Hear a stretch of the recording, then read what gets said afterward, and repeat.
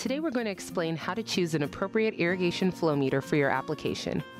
There are two main types of irrigation meters, and there is one distinct difference between the two. One has moving parts and the other does not.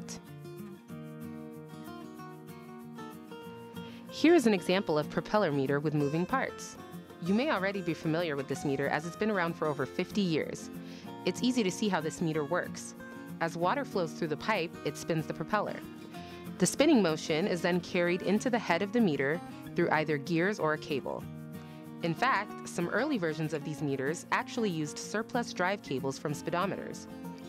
The propeller meter has stuck around for so long because it's easy to understand and relatively inexpensive. It also holds up great as long as the water is clean. This is a common problem. If you go around and look at a number of propeller meters, chances are you'll find some of them have stopped moving.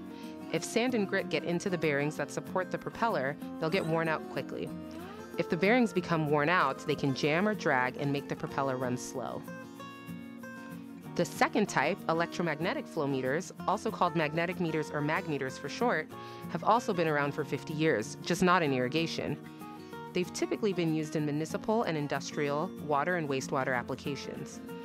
The technology on these magnetic meters has advanced so much that they can now be battery powered. This makes them great for irrigation use.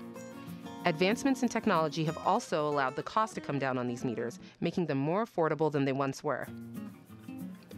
A mag meter works the same way as an alternator in your car. By Faraday's law, if a conductive material such as irrigation water goes through a magnetic field, it creates a small voltage. If you measure that voltage and you know the size of the inside of your meter, then you can calculate how much water is flowing through your pipe. The advantage of the mag meter is that there are no moving parts to wear out. This is very valuable in applications such as river or well water monitoring, where there may be silt or grit in the water. Another advantage of the mag meter is that it typically doesn't require as much straight pipe as a propeller meter to function properly. Some variations allow you to connect very close to an elbow, valve, or straightening vane and still get an accurate reading. This is the Seametrics AG3000 inline mag meter. There are a set of coils in here that create the magnetic field. Then on the side are the electrodes that pick up the voltage and bring it up into the head of the meter. In the head of the meter, there is a chip that converts the signal into the flow rate and total indicated on the meter. The AG3000 is perfect for tight installations and applications that require higher accuracy. This meter is the Seametrics AG90 saddle mag meter.